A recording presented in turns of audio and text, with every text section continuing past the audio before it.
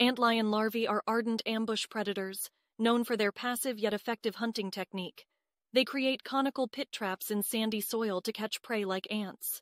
When an ant stumbles into the pit, the antlion uses its jaws to fling sand, causing the ant to tumble deeper into the trap. Once the prey is within reach, the antlion captures it with its razor-sharp mandibles and injects digestive enzymes to consume its meal. After about a month, the antlion undergoes metamorphosis to become a beautiful flying adult, providing a stark contrast to its ferocious larval stage.